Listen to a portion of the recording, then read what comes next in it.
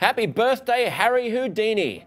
The great man would be 139 years old this Sunday, and to honour his legend, Ripley's Believe It or Not Times Square will reenact his legendary hang by your ankles from the ceiling and escape from a straitjacket trick.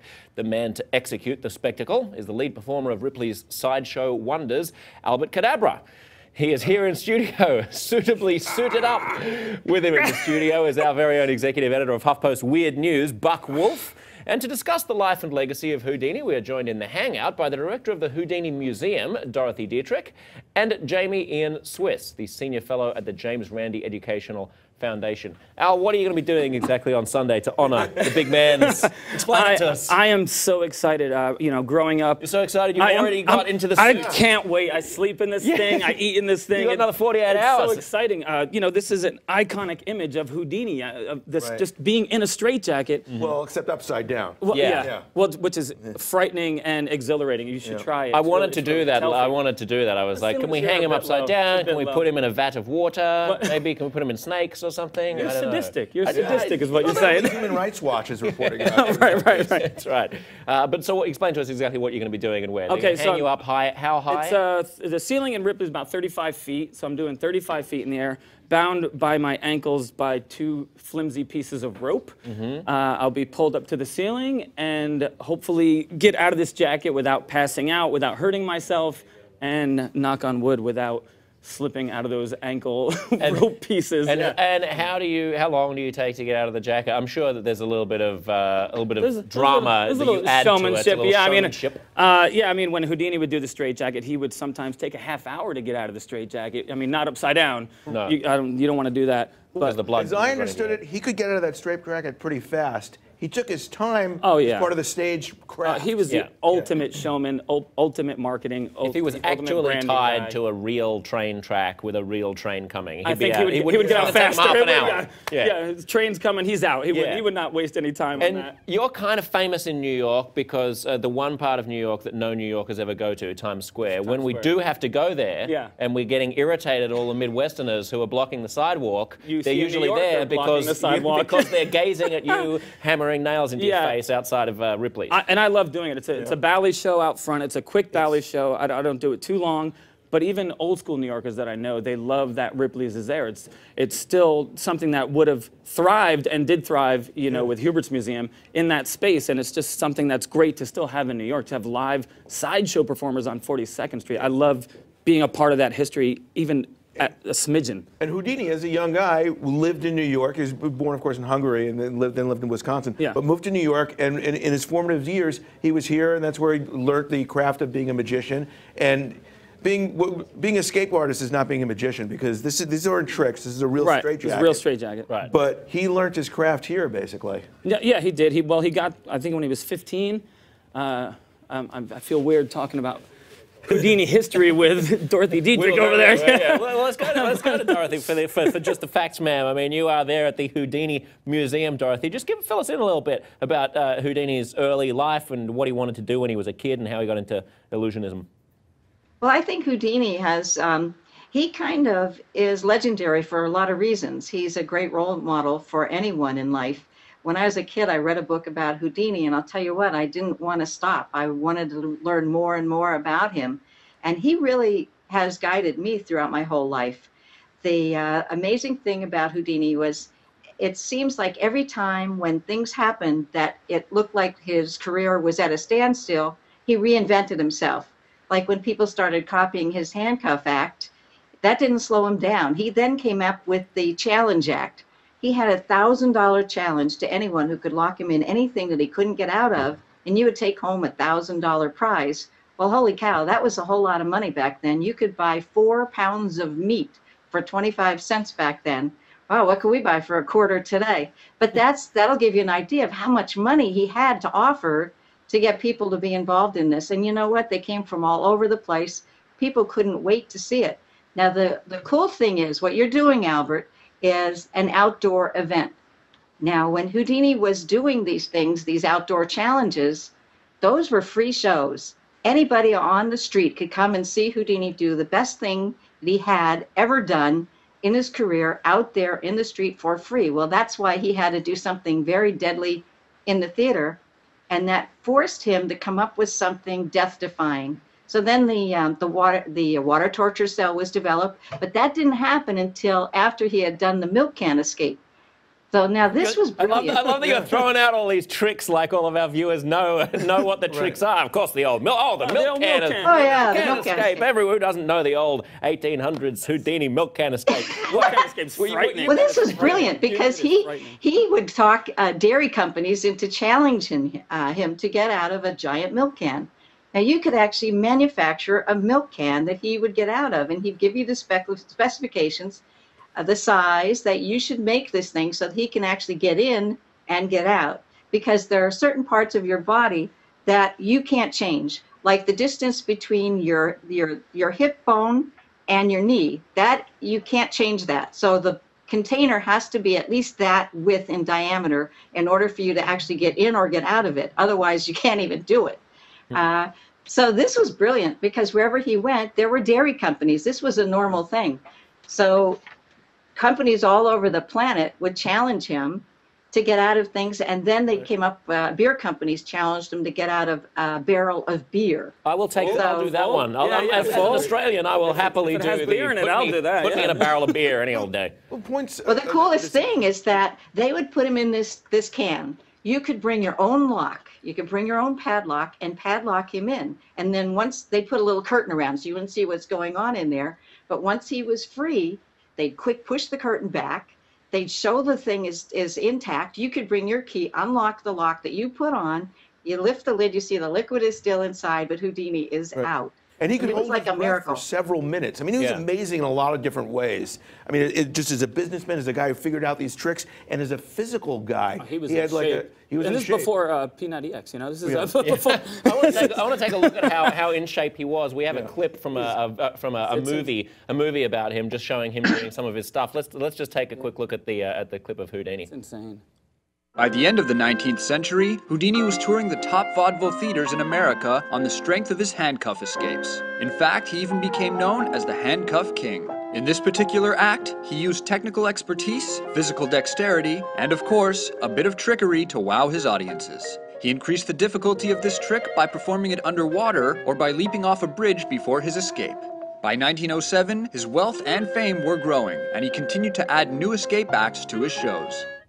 I mean, they talk about them as tricks, right? To what extent? And you know, we were just mentioning before, this is not a trick. This is an actual straitjacket that you're Yes, actually going to get stunt, get out of. right? You had, you had it's a stunt, but it's something that you're It's actually really doing. up there hanging upside down. Whereas there are other things, you know, you go and see Penn and Teller in Vegas, and they're doing all kinds of great showmanship, but they're doing tricks. They're not doing. I heard they dematerialize when they do all their stuff. I Oh, heard that's how they, right. that's how they do that it. how they do it? Yeah, yeah. I mean, So- they're, they're lying to you by giving you a false To- to- explanation. To, what extent was Houdini uh, a trickster, and to what extent was he just a super in shape I mean, guy that's the beauty of do a, of a brilliant. That's the beauty of a stuff? brilliant performer, mi- blurring those lines, so you don't know what's a trick, what's a, an illusion, what's a stunt, what's real, what's not real. Are the cuffs real? Are the cuffs gaffed? Are the cuffs given to him? Who who knows? And who really cared? Because he was a showman. Everyone just loved watching him. Loved watching him do anything. Get get out of a box. Get out of a milk can. Get out of the, the stomach of a whale. Whatever. Read the newspaper, whatever he's doing, Right. ride the trolley. I would I would pay to watch Houdini read the newspaper for sure. For Ja- sure, I would. Jamie, one of the things that people often forget about Houdini, that lay people often forget or don't know, is that he was a, he was a real kind of skeptic. He really took on belief in the occult, and, and, and a lot of the motivation for his for his illusions was very similar to what Penn Jillette's motivation is, which is and yours as well, which is to to to debunk bad ways of thinking about the world. He was the, probably the most prominent skeptic of his time, and he was continuing the long-standing tradition of the interconnection between rational and critical thinking and magic, which actually, believe it or not, goes back four centuries in the literature. The earliest book ever published that included instructions about magic in English, published in England, called The Discovery of Witchcraft in 1584, was not a book about magic. It was a book intended to debunk the uh, witch burnings of Jamesian England, but it had a chapter about magic and how magicians can fool people. And uh, thus began this long tradition, at least in the literary side. It's probably even longer uh, in the oral tradition between magicians and skepticism. And this came to a head during Houdini's time, during the era of spiritualism and uh, spirit seances. And Houdini, among other magicians, uh, uh, Maskelyne in England, many others actually, but Houdini certainly became uh, prominent for debunking the claims of phony spirit mediums and also for getting involved in the earliest days of the science of parapsychology. He was on the first committee for parapsychological research organized by Scientific American magazine, and he offered a cash prize for anyone who could uh, demonstrate a supernormal ability that he couldn't explain, and thus began a tradition that today I help supervise for the uh, our million dollar challenge for the James Randi Educational Foundation, and we offer a million dollars for anyone who can demonstrate a paranormal ability under mutually agreed upon test conditions. Yeah, uh, Buck, we were talking yesterday, of course, about about that. But yeah, speak to that. Well, it's really important to know that, that there's always been an, a level of like psychics and phony seances and, and people just being exploited by that. But it was really bad in the early 1900s when Houdini was an was was was a star. There were people who you know you lost your wife, you lost your husband, you lost your child in the war or something, and you wanted to reconnect with them, and you were desperate. And there were psychics holding seances, is really exploiting and stealing Mark, have money you from walked these down people. St. Mark's Place recently? There's, there are neon signs all over the place with it's- Well, psychics it- trying it to continues take your money and give it you was tarot then. readings. It was it, it- And as bad as it was It continues now. today with then. talk, so-called talk to the dead mediums. Sure, That, yeah. that, that practice absolutely continues uh, today. Uh, there are a number of people who claim to have that ability who charge very high fees. For and they're preying on the on the most vulnerable people. Demonstrations. Yeah, That's Jamie, right. they're, they're that's- all over the, they're all over the place in Manhattan. I mean, Yeah. you, you, you could throw it, you could throw a dart and you'd, uh, and you'd, you'd Right. And on national television, and filling theaters in Las Vegas and Atlantic City, and elsewhere around the country, and filling auditoriums, and charging hundreds of dollars uh, just for a ticket, not even for a private. Right. We And had what a James Randi did, and James Randi was once known as the Amazing Randi, um, and what Houdini did, and even to some extent what Robert Ripley Ripley did, is said like, you know, this is stage magic. Hmm. It's it's nice to pretend, but it's not real magic. It can't really Yeah. make you speak to the dead. It, there- it, it, oh, I mean, Penn and Teller still do that sort of thing as well. They do, they do the do same that, yeah. kinds of tricks that psychics Houdini pull off. at the end of his at the end of his career. His show was Magic Escapes, and the last bit of his show was the seance show and debunking the seances. Hmm. But he I like really he really wanted to believe. He really wanted to believe, and then when he realized he was getting taken, he went at them with a vengeance and didn't stop. And Right. I love that about him. Josh, you know, we, it's very, it's true that, Houdini. that in his time, Houdini was close with Sir Arthur Conan Doyle, and uh, you know, For- the guy who wrote Sherlock. Holmes, and they had a tremendous falling out as a result. Oh yeah. Dorothy, you were just trying to jump in. Yeah. Houdini had, at the end of his life, he had written a 300 page book documenting all the cases of all the spiritualists. And in the introduction to that book, he says, I did not go into this with a skeptical mind. He went in with an open mind, trying to see if there were any sign of anybody that was genuine. And he says, in this is not a study that has taken him over a couple of years.